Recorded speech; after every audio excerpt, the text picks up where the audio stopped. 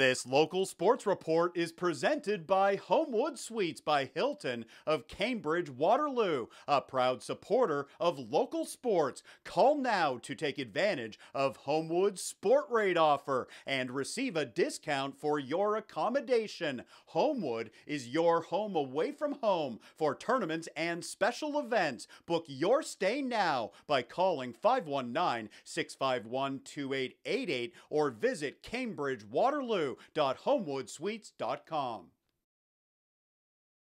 The Hespeler Shamrocks kicking off their preseason schedule with a home game on Sunday. The Shamrocks hosting the Dorchester Dolphins at Hespeler Arena. Opening period, the Dolphins looking to strike. Logan Corbeil coming in over to Lucas Gasky. Miles Ma is there for the stop. The Chamois netminder keeping the game scoreless. Later in the period, how about this setup from Hespeler? Nick Donnell behind the net to Hayden Opyc. Nice feed, good finish. Opyc makes it 1 0 after 20 minutes. Second period now, more Hespeler offense. Jet Sparks circling around. He centers. Ian Jeffros is there, and he cashes in. Jeffros scores, making it 2 0. Final minute of the period now. Trey Elliott with the puck over to Aiden Longley, and it's a laser from Longley. He scores with 23 seconds left in the period. 3 0 Hespeler after two periods. Let's move to the third. Owen Getz coming down the far side to Matthew Ulrich, and it goes back to Getz. He stuffs it in. The Shamrocks look looking good with a four goal advantage. Back to the highlights in a minute. First, a reminder this video is presented by Homewood Suites, a proud supporter of Shamrocks hockey. Book your stay now by calling 519 651 2888. Midway through the period now, the puck is bouncing around. Hayden Opyc grabs it, and he's got another one. Opyc with a pair.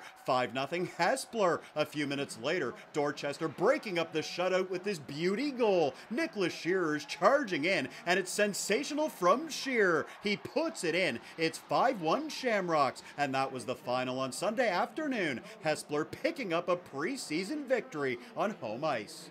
For more highlights, visit our website, 519sportsonline.ca. Be sure to subscribe to our YouTube channel and follow us on Facebook, Instagram, and Twitter.